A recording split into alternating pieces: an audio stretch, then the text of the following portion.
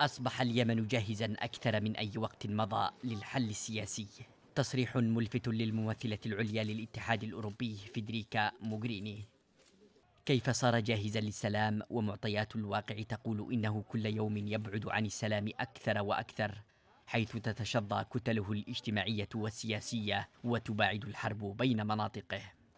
أضافت بوريني بأن ملامح إيقاف الحرب في اليمن قد بدأت من خلال مبادرات متبادلة بين الحوثي والسعودية إلى جانب استجابة الأطراف الخاصة في جنوب اليمن لحوار جدة بإشراف سعودي.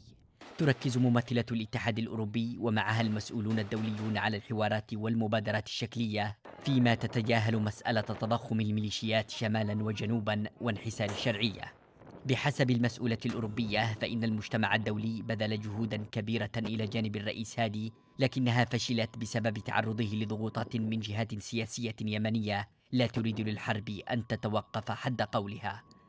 كيف للحرب أن تتوقف ولا تزال الثقة منعدمة بين الأطراف؟ ومعظم القرارات الأممية المنبثقة عن مؤتمرات السلام لم تر أي طريق إلى النور. ولم تتخذ أي مواقف أو عقوبات ضد المعرقلين على ما تم الاتفاق عليه.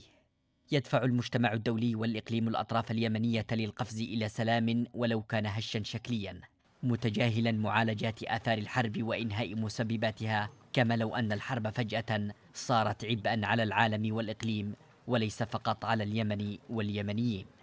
سلام لا ينطلق من قناعة ومصلحة اليمنيين لا يمكن أن ينجح مهما بدت معالمه الإيجابية. على خط الدفع بالتسوية المبهمة أكد وزير الدفاع السعودي الأمير خالد بن سلمان أن الرياض تنظر بإيجابية إلى عرض ميليشيا الحوثي بشأن التهدئة داعيا إلى تطبيقه مشيرا إلى أن السعودية سعت دوما إلى التهدئة في اليمن كما تأمل أن تطبق تلك التهدئة بشكل فعلي.